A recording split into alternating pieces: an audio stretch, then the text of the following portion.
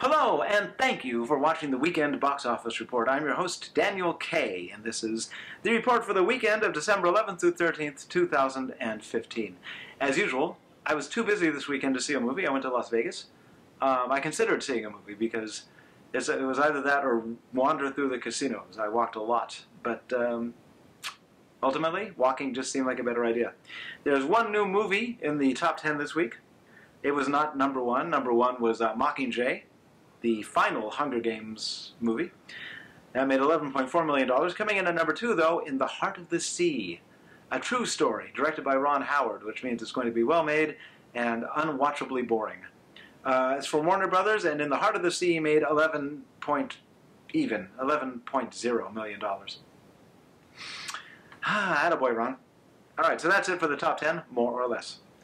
Coming in a little farther on down the line, at number 82 from Film Movement Pictures, Breathe. Breathe made $63. It's been on the chart for 14 weeks. It's showing on one screen. Breathe.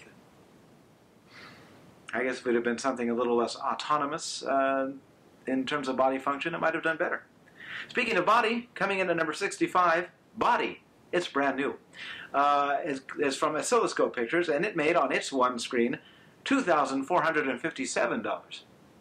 Which, by the way, is uh, uh, as a per screen average. Oh, wait a minute, look at that. It's still lower than um, the Tom, um, the uh, In the Heart of the Sea.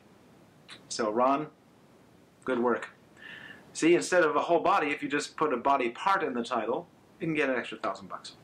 All right, well, thank you very much for watching the Weekend Box Office Report. Me will be back again next week. I'll probably be talking about Star Wars. A lot.